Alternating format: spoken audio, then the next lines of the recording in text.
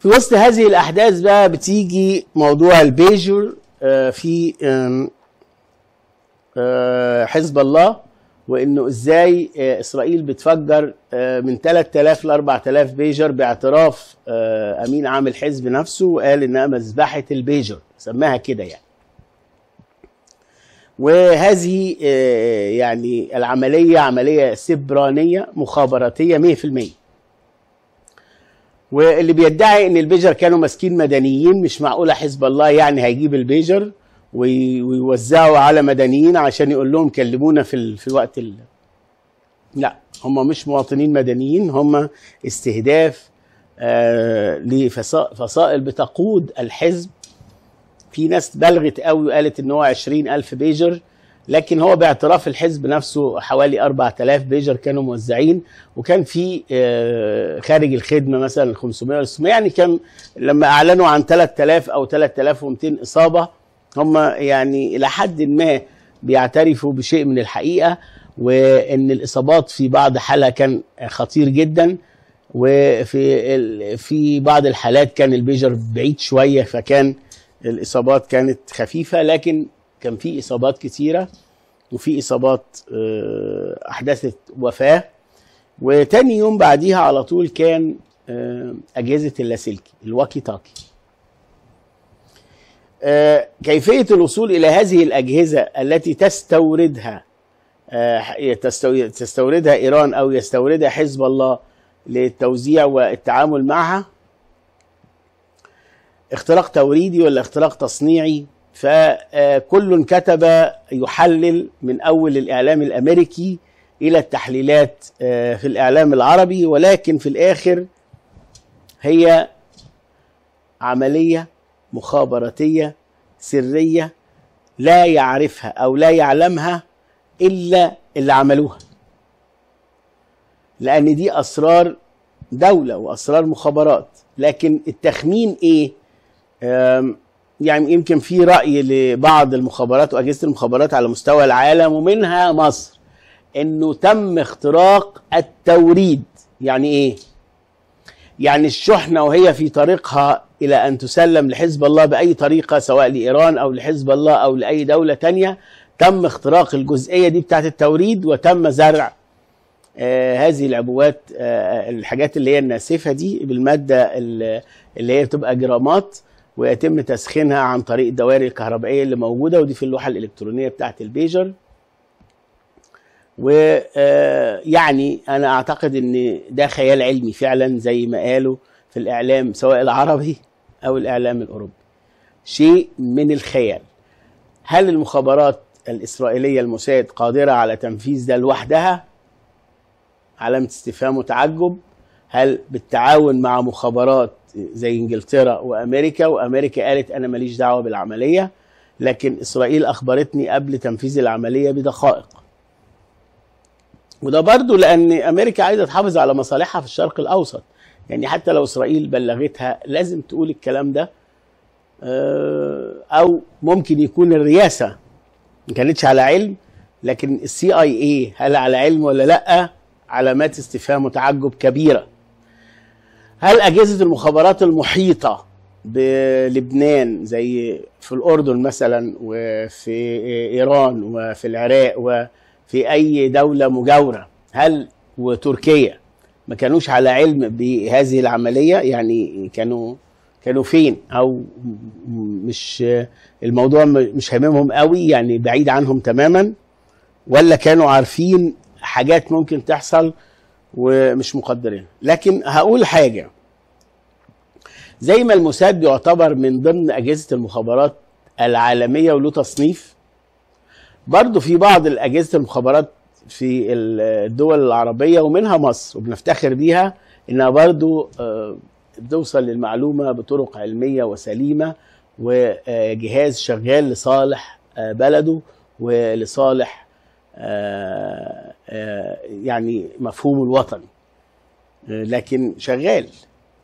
آه، عايز أقول إن لما أمريكا قالت إن تم اختراق التصنيع في المصنع نفسه إن كان في المجر وراحوا للوكيل أو للوسيط وفي الآخر أنكرت لأن هي بمجرد تليفونات زيها زي أي حد في الدنيا بيجيب من على أمازون أو من على أي آه، website للشركة المصنعة أو للشركة الموردة. لكن هو في الآخر آه، رأي الناس العسكريين اللي عملوا في المخابرات إنها وطبعا المعلومات عملية سبرانية مخابراتية تستهدف قيادات حزب الله وقد وصفها أمين عام الحزب أنها مذبحة مذبحة البيجر. يعني الضربة كانت موجعة جدا لحزب الله. وحتى ال- ال- الصولان والجولان الحماسي في آخر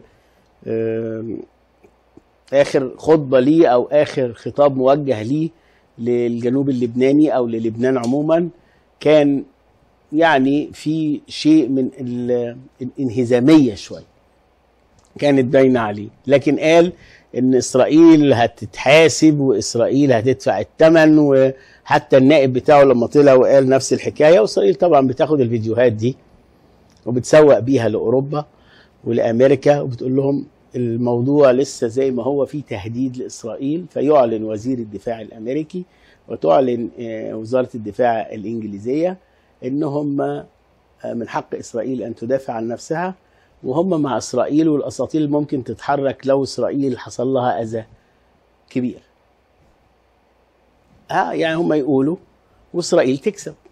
واضح يعني تاخد الحاجات دي كلها زي ما كانت بتاخد خطب زعماء آه، اللي حواليها وهنلقي إسرائيل بحرا وبتاع وتم تسليح جيش إسرائيل على أحدث مستوى وأعلى مستوى بحيث إنه يحارب في ثلاث جبهات مرة واحدة سواء كان في 67 أو في 73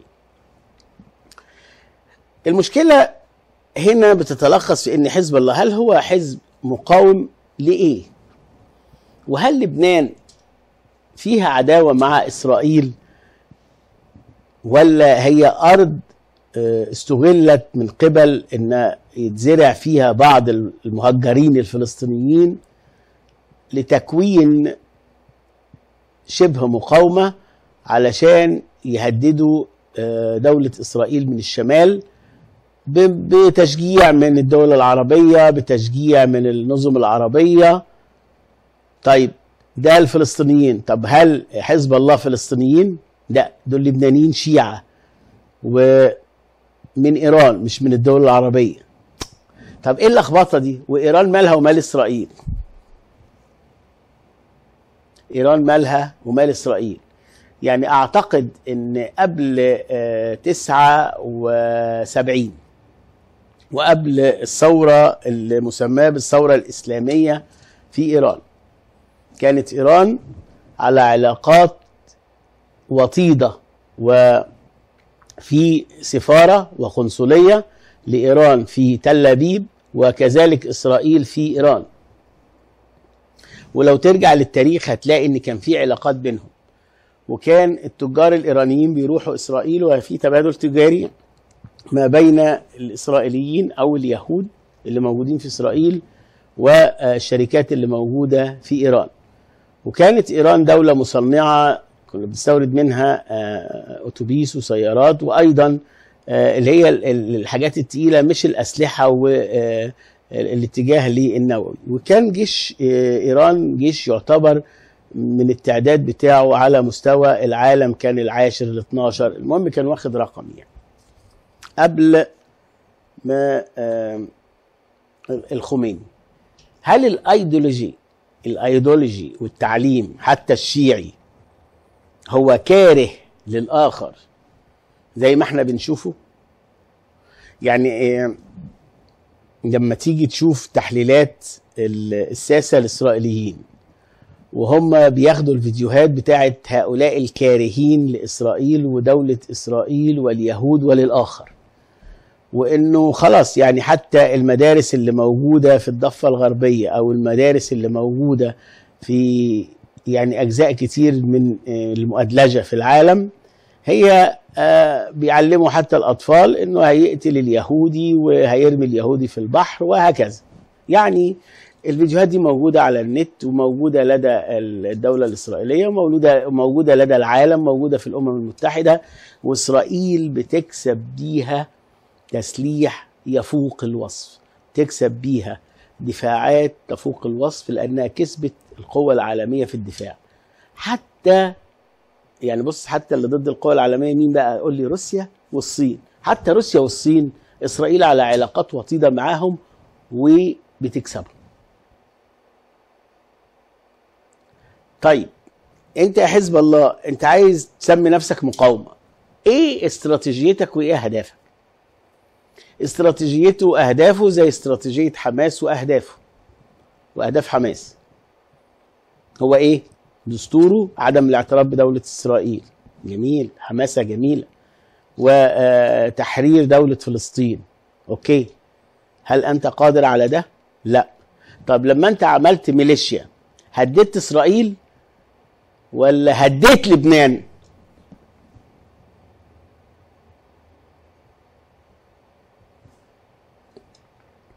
معمول علشان تتزرع لهدم لبنان.